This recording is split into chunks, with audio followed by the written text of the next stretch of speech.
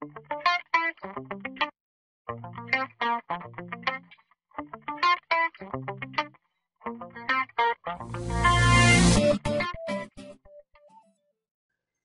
welcome back guys to part 5 on CMS blogging system. So today we would be writing the code for our uh, admin panel index.php page. Uh, today we won't be you know doing any PHP or any kind of a programming stuff. Uh, we would be more focusing on the CSS and we will be creating the grids for our admin panel. But very first, uh, if you guys remember, the one thing we are missing in our login page is this. If I'm gonna hit login, it's gonna do some kind of a funny stuff. See, it came from the top to the bottom. So we will have to fix this particular bug, I would say. So what we need to do for that is out here, I'm gonna open the login.php file and where it says uh, div errors which have you know a margin top to some pixels. Just above it I'm gonna create a new div I'm gonna name it fake because uh, we won't be doing anything inside it. Just a space. Okay? And from here I would be opening my custom.css file and here on the bottom. Okay. I'm gonna take the margin top off from this particular errors and I'm gonna give it to the div id fake. I'm gonna say div id fake margin top to 240 pixels okay this way I believe it will solve it for us. Um, refresh. No it didn't. Let me check it out. Why? Out here here's my div id fake. Okay I believe it didn't took any margin. So it's div id F-A-K-E I have the same thing but why it's not showing? Let me refresh the page again. Yep now now it's looking fine.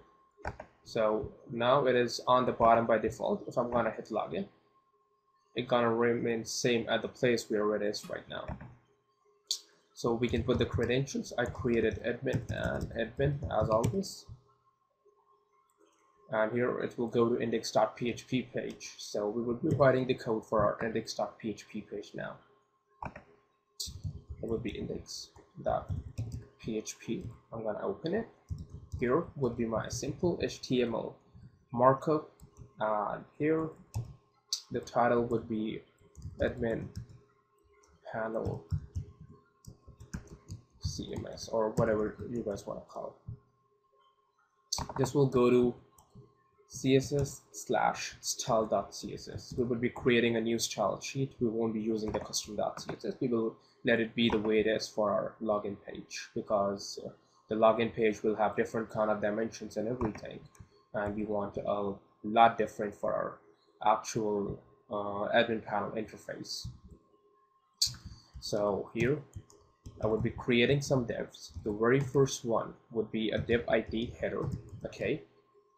And uh, out here, I would be creating a div with a class of call full.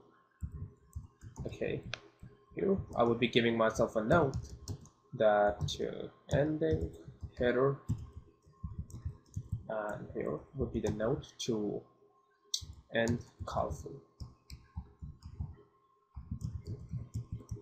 uh, guys inside it we would be having two there one would be header left and the other one would be header right because uh, on the left there would be our logo or our actual name of the blog and on the right hand side we will have you know person who is logged in name and uh, some custom settings button. So here I would be saying header right and and here would be and header left okay seems pretty fine. I would be putting some space for now so that we can actually see where our divs are. One up here as well. So we will go to the css folder and uh, I will be creating a new file out here. So I'm gonna name it to style.css and here I'm gonna open it first I'm gonna import some default markup. If you people want you can go to Google. You can search for HTML5 default CSS style sheet. You will get this particular chunk of code that you can paste. And uh, if you people are using InType then again you people can actually work with bundles. You can go to a css bundle.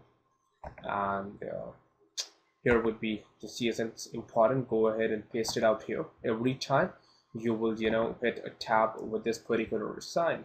It will give you the all marker. That way i do it. Uh, okay guys. Back to the work. Here i'm gonna give myself a note main styles will start here.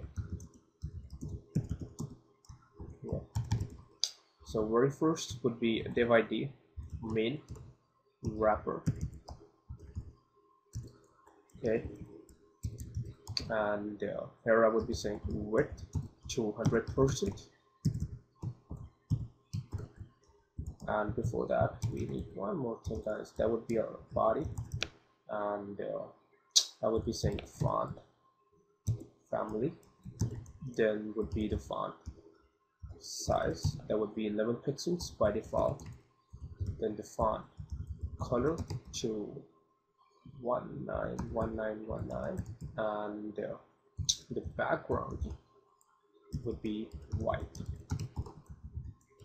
Okay then some zero and like the margin zero and the padding zero to make sure our page will render same way in all of the browsers. And from here we can actually start our own styling now. now we say div id header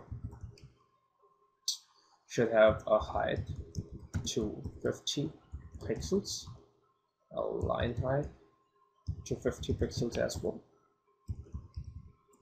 A background to black okay? And uh, div class colorful will have a width of uh, let's say 980 pixels and a margin to bottom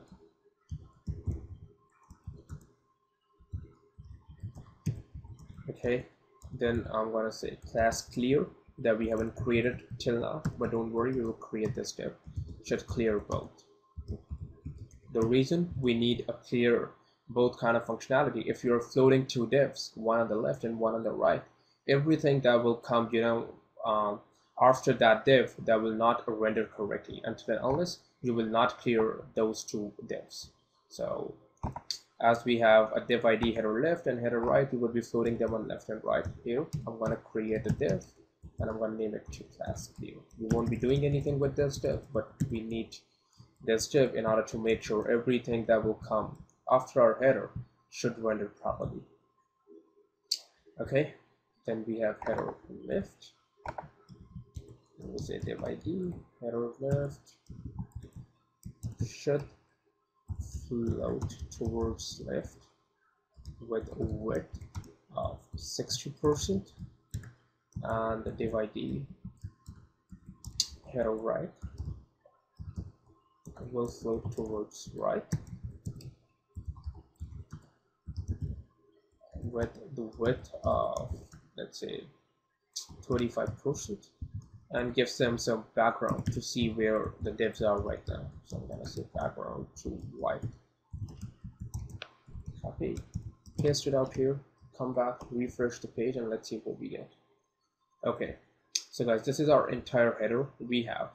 This is our div left and this is our div right okay? And from here we have 980 pixels. I believe we can increase it to 1000 let me see 1000 pixels okay this looks a bit fine or i would say 1100 okay 1100 is fine. And this is our left one and this is our right one. Now what we need to do is I'm gonna take these backgrounds off for sure. And uh, inside here no here I'm gonna create a h2 that would be saying cms admin okay. Very simple one. And on the header right uh, on the header left I need a menu bar as well.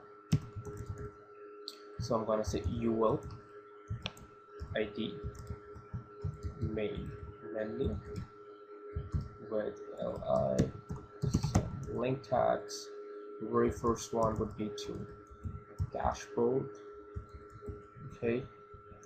Then I'm gonna say posts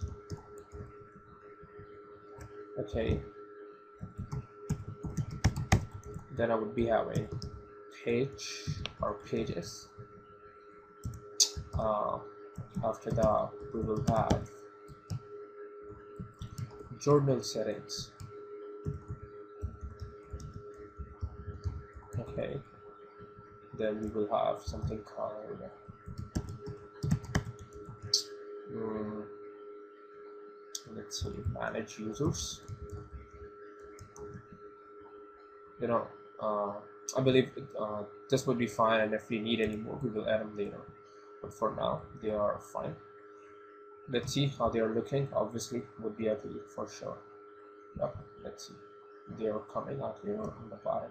We want that. Okay so I'm gonna say ul id main menu and ul id main menu li